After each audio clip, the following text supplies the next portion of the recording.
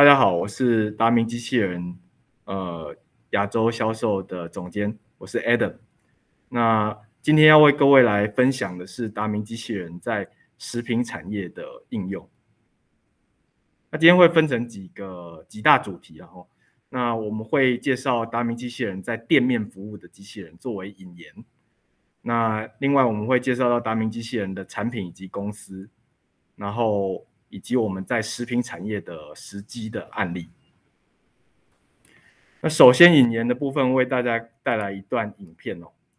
那这段影片是达明机器人在呃日本，我们在日本呃各种产业各种店面做的一个服务。那画面看到的是我们在日本配合的呃系统整合商，那它就是用达明机器人作为载体哦，然后在各种店面呃所做的各项应用。那第一种是这个炸物机器人哦，炸物机器人它主要的任务有，就是从这个冰箱里面把这个炸物取出，然后取出来之后，它到这个油炸的油炸区，然后去做放置，然后让这个呃机器开始作业，然后作业完成之后，它再把这个炸物取出来，然后放到这个旁边这个玻璃展示柜上面，这样子，主要是这样的动作。那第二个是这个 Soba Robot，这个是荞麦面煮面机器人哦。那荞麦面机器人这个是由人员呃放到放放入面条之后，呃，这个看大家看到达明机械手臂这个灰黑色的这一只，就我们达明机器人就放到呃把面放到这个呃煮沸的热水里面去煮，啊煮完之后再放到这个冰水冰水里面去把它啊冰镇，啊保持这个面条的 Q 度这样子。最后再放到这边，然后由人员再把它取出来。啊，这是 Soba Robot。再来是那个呃 Takoyaki Robot，这个是做章鱼烧的哦。那可以看到这个机器人一样是跟人搭配，就在人旁边。那它做的就是这个呃主制成，就是做章鱼烧的这个作业，把料放进去，然后用制具哎，就把这些呃刮刀刮干净之后。那运用视觉去看这个章鱼烧它的熟度，那是有颜色的熟度，要用到一些 AI 的技术哦，然后去判断，判断熟了之后再把它拿起来。那最后除了呃食品之外的一个作业服务之外，还有这个洗碗的部分哦。那这个是那种日本那种冻饭的碗，那经过视觉的判定之后，哎，手臂拿起来一样到这个洗碗槽里面，两道制成。那去做一个冲洗，然后以及这个算是刷洗的部分。那碗也比较深，所以它不适合那种呃盘子的这种呃清洗机。那其实主要上面是四种哦，四种在日本，我我们这个呃不是展示哦，它其实已经在日本的呃这四种店面都已经在服役在打工中了。其实日本近几年啊，应该说它近十年都。呃，遇到这种所谓服务业的一个人才荒啊，那大家如果到日本去玩，在疫情前到日本有去玩的话，其实呃就会看到，其实他们在呃店面服务这一块其实是很缺人，缺缺缺人去做服务的。那呃在日本，我们例如说去拉面店就看到，哎，有一些是外籍的员工，或是说哎当地在呃呃外籍生打工的这种状况。那其实日本很多就是所谓的呃店面，呃，它有所谓叫黑字倒闭的这种状况发生。黑字倒闭的状况就是说，这间店它明明是有赚钱的，但是却因为呃招不到人，那而被迫要关门。这种状况是呃很常发生的。所以呃日本它除了在呃产业工厂用的自动化有导入机器人之外，他们越来越多在服务型这块也导入这种，呃，原本在工业用的机器人，然后让整个包含是不不管是外场或是刚刚看到的都是内场哦，内场的作业都可以用自动化来完成。尤其刚刚看到几个像炸物啊，像呃像这种呃呃那个洗碗啊，以及像煮面，其实它在内场的那个作业环境是非常不好，它是很热的哦，有蒸汽的环境。那像这种环境下，它它就呃更需要有这种自动化的机器人来做这些作业。那引言之后呢，我们就开始介绍呃达明机器人我们这间呃公司以及产品。那接下来也是一段影片，那很快速的为各位来呃介绍我们的啊达明机器人的手臂哦。那这边看到的这一只就是我们手臂的，刚影片也有看到哦。那它是一只六轴的呃标配视觉的协作机器人。那这边看到我们几项特点，这个是 simple 简单的部分。那这是一个流程图的一个拖拉的方式来做编程，跟过往的机器人大家想象可能是要写程式不太一样。我们直接流程图一块块就做完。那人员也可以带着这个手臂到呃你要的点，要记忆的点把它记下来，所以就相对操作非常简单。那人员有呃误动作去碰到的时候，它也会安全的停下来。那这个就是所谓协作机器人，跟人一起协作，然后来做到这件事。我想这一点在服务型哦，在所谓呃店面服务型的这种机器人上面是非常重要，因为有时候那个作业环境是人来人往，那这时候那个如果用传统机器人，它还要用围栏跟把机器跟人隔开，那就比较麻烦。那另外刚还有一个特点就是 smart 哦。那大家可以看到，这个机器人在最前端有一个银色的、银色的像探探照灯一样的这个头，这就是我们的视觉系统。那达明机器人是呃全世界第一只直接标配视觉系统的呃手臂机械手臂。那我们不只把硬体呃 camera 背上去，我们也把整个软体都呃都建建构在整个手臂操作的平台上。那现在影片播放的这个是下面手臂下面有一个透明的一个箱体哦，这个透明的箱体，这个是所谓的无人搬运车哦。那我们刚刚讲到说手臂，那我们又标配相机，就有眼睛，那它缺了一个脚可以移动哦，所以我们就把呃达明机器人配上不同的这种无人搬运车，让它长脚可以做移动。那透过视觉再做辨识，像这样子，它它到位之后。然后用视觉去做辨识，辨识完之后再做准确的抓取。影片中的范例是比较偏向工业用的哦，但是其实服务型、服务面或是说在食品工厂都可以做使用这样子，呃，手眼脚搭配的呃移动机器人。那这个是简单的影片，为各位介绍我们的产品线哦。那接下来是呃公司的部分哦。那达明机器人呢？我们是呃正式成立是在二零一六年。那我们的母集团是广达电脑，就是做笔电的这个 OEM、ODM 的呃代工哈。那呃我们母公司直属母公司是广明光电。那呃全球的员工人数，我们在达明机器人这个载体上面是有五百人。那其中有一半都是 R&D 人员，就是呃研发相关的人员。我们是非常重视机械手臂。跟视觉的这种自主研发的能力，那并且呢，我们不管在研发跟呃整个制造都是 locate 在台湾。那除了总部在台湾的桃园龟山之外，我们呃分部 office 的部分在南韩，然后在中国三个据点，然后在欧洲最远到欧洲荷兰都有我们的 office 这样子。那这是整个呃发展的里程碑了哦。那其实我们在一六年正式成立之前呢，其实在一二年在广明内部我们就开始做研发，那一直研发到一六年，其实是呃很长的一个研发历程，我们才顺利的把整个手臂跟视觉系统呃建构在一起。那在一七年算正式对外销售，一直到现在哈，大概四五年的时间，我们啊全球销售了大概啊八千到九千台总数。那呃，预计今年也会达到一万台这样子的一个里程碑。那这就是我们刚刚提到说达明在全球的一个布局哦。那除了我们立足台湾之外哦，我们其实在欧美啊，在亚洲各地、东南亚、日本、韩国都已经有呃销售，以及有我们当地的一个代理商来做服务。所以今天如果它是一个 solution。今天是一个服务型的 solution，一个一个呃机台，那它可能它可能要运到世界各地，好比它是一个无人呃咖啡店这样概念，然后在台湾建构要到各地服务，那我们在当地都会有相对应的呃服务公司来做配合。那这一块这个赛主要在说明就是达明在技术面的发展哦。那我们是机械手臂的原厂，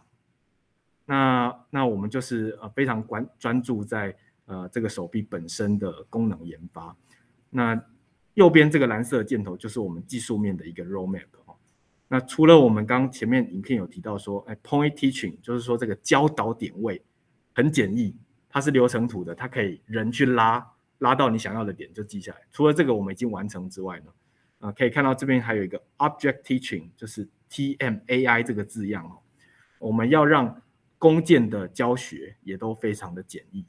那刚大家如果有印象，我们在章鱼烧那影片有看到说，我们用视觉去拍那个章鱼烧的颜色，然后去判断它的熟度够不够哦。那这一点其实就要用到所谓的 AI 哦。现在呃近年大家非常。关注这个议题很 popular 的议题，AI 这个议题哈，那 AI 这个议题就是能够让呃视觉哦，呃在视觉的应用上面，它就是能够让视觉能够去做呃非常规的判断，呃对人来说，我们看那个呃熟度颜色，其实呃煮过几次会知道，但是对机器不是哈，一过往的机器视觉可能他们都要去设定它的尺寸大小，它才能做判定。那像这种颜色的判断其实相对难的。那有了 AI 这一块之后呢，达明也非常关注，我们也呃有人员专门去发展那也做出自己的这个 AI 软体，然后搭配我们的视觉，就可以做到这种非常规的颜色的判断、品质的判断。所以现在其实，在食品产业，我们也很重要的一块，除了手臂的移载之外，视觉的判定也是我们的重点。那呃，这边还是回归，先回归我们达明机器人的一个呃机器人本身，哈那上面看到这四大类是我们现行的呃手臂产品线，那可以看到从最小只的呃七百 m i l i m e t e r 臂长的呃手臂，一直到最长有到一米三一千三百 millimeter 这样的 TN 十二的产品，那荷重呢呃最小到四公斤。那最重可以到十四公斤这样子的一个负荷的重量。那这这一章主要在说明说，刚刚讲讲到简易的操作面哦。那简易的操作面，我认为在呃餐饮业、服务业来说是更为重要。它主要就是说，呃，今天呃我们呃最终端的使用者要操作这个手臂，那它不需要太多的一个呃软体背景。过往的机器人，它是要用写程式 coding 的方式来操作的。那达明，我们把它独创成，呃，画面上看到左边这边可以看到，我们是用流程图概念，很像 SOP 一格一格流程图概念来做操作的。那我们的视觉任务，我们的呃手臂的呃动作任务，都在同一个平台可以完成。那其实我我们的训练课程大概一天的时间，其实就简单的这种呃取放应用啊都可以做到这样子，那也方便使用者在后续呃要改程式、改动作的时候，它可以很好、很简单、很直觉的去修改这样子。那这是我们 TM Flow 的一个软体。另外，我们还有呃刚一直介绍到我们的影像系统。那这边有讲到说 TM Vision 的部分，其实我们是呃全球第一支把把呃视觉系统直接 embedded 直接标配在手臂上面的公司哦。那这一点在食品产业的应用，我认为呃只要是工件呢，只要是这个东西哈，食品这些这些呃东西它是呃 random 的，它是非固定的，那它就需要用到视觉哦去判断它的位置。去判断它的歪斜程度，然后来去做抓取。过往的手臂如果啊要做啊食品产业自动化，它没有啊视觉系统，那就是他们每次都是固定去呃要教导的那几个点位去抓取，就是到固定位置去抓取。那我们所谓呃智慧化，这个就不够弹性了。那所谓我们加了呃视觉，就可以让诶今天来的来的东西，它可能是呃杯子的位置。哎，不太一样，每次都不太一样。那我们用视觉判断之后，再去做抓取，那就可以更弹性的运用这样子的手臂。那前面都在讲产品哦，我们接下来带几个呃实际的应用给大家看哦。那首先第一个是比较偏向在工厂使用的这个自动线，那这也是食品产业的一个工厂哦。它主要是这个 cheese，在欧洲的一个工厂，它主要是这种呃 cheese 的饼干，然后它要在最后一段做一个装盒，装盒之后。再到最后面上站板，这样子的一一条线，最后这只手臂就是在在啊把盒抓取之后，每次四个上站板。那这条线总共用了四只达明达明机器人来做来做作业，这样子。那第一只手臂呢，在最左边。在线体的最左最左边，它是呃把在目前画面上最右边的这只手臂，它就是把纸盒抓起来，然后做一个呃搬成立体的动作。另外就是比较靠近镜头的呃这第二三只手臂，它的作业就是哎拿着这个银色的呃字句，然后让这些饼干从呃从这个流水线很快速的过来之后，它就一个个接住，是。用位移的方式把它接住，接住之后，再用再打开下面的这个开呃开关，然后让这个饼干掉进掉进这个纸盒里面，就像这样子的一个动作。那其实它就可以很快速的哦，就是不影响产线的效率下面去完成自动化的动作。那它它当然也搭配一些周边的字句，然后完成这件事情。因为其实食品产业在工厂的呃使用，其实它强调速度，强调这种这种流水线的节拍哦，所以它要搭配一些周边来做到这件事。那这支现在在做的就是把这个纸盒，纸盒从纸盒从这个平面的状态哦，那经经过这种夹具把它打过来。往右边打，让它变成一个立体的状态，然后再送到后面去。那装完食品之后，然后再去把它做一个封箱，最后上正版这样子。那接下来几个是呃服务型的哦，就是实际在店面啊啊可以使用的这种样态。那首先是这个 bartender，就是呃吧台酒吧使用的机器人。呃，这一样在欧洲的一个场合哦。这个当然拍摄的时间是在疫情前了哦。那呃，手臂可以看到，其实它就直接架在这个呃酒吧里面呃吧台里面哦，然后去做一个调配的动作。那其实这这又呼应到呼应到我们刚前前面提到说，这是一只协作的机器人。那它是因为协作是它有安全的规范，说它要跟人哦，像这个吧台里面人来人往，就那个八天的一直走来走去哦。他要跟人一起作业，他需要碰到的时候停下来，那个力道也是有 ISO 的一个认证的。那我们都是通过这种 ISO 认证，所以才可以让呃人员呢把这个手臂直接架在吧台里面，然后协助人员来作业。所以这次是协作机器人，呃，在服务型这样子的一个产业里面很好用的地方，因为你免不了在原本的店面里面就是人走来走去嘛。那如果为了自动化还要去架设太多的围篱，反而是造成麻烦。这样子，OK，接下来是呃手臂泡咖啡，我请大家喝一杯咖啡。那其实手臂泡咖啡这一块，我认为其实在呃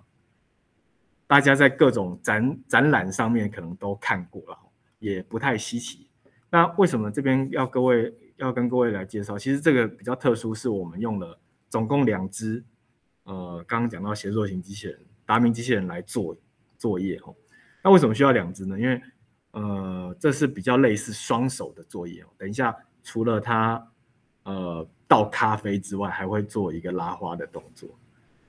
那在在影片上看到，他现在是用右边这只机器人先去装牛奶哦，先用这个同一台机器先把牛奶装出来。那装出来之后，这个左边就会去装咖啡。那把杯子放好之后，然后去点，去点咖啡机的按钮，然后来做来做咖啡装取。同步呢，右边这只机器人就把刚刚倒好的牛奶要去做一个制作奶泡的动作。那大家如果到咖啡店有看到的，最右边这个比较小台的银色机器，它就是呃奶泡的制作机，它其实是一个打气的装置，加热打气的装置。那一般人在做，跟现在手臂在做一样，它要有一个角度，有一个 cushy，然后才能顺利把这个出气装置跟牛奶呢形成一个漩涡，然后让那个漩涡可以生成呃所谓的奶泡，然后等一下才能放到咖啡上面。才能浮在咖啡上面。好，左边这边它的咖啡也泡好了哦。那等到右边这边它的奶泡制作完成，就要开始做拉花的动作，这样子。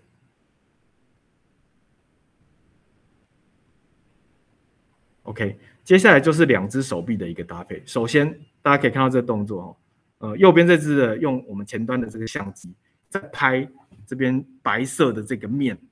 这个面的一个标签，让两个两只手臂的位置做定位校正。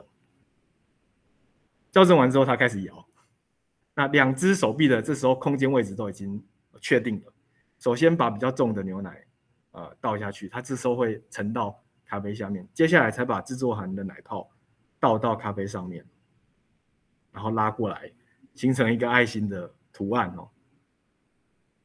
那这种人员的这种呃手的搭配，就呃可以在机器上面完成。这这个是其中比较简单的一个拉花应用。那它还有其他的，总共有三种拉花的形式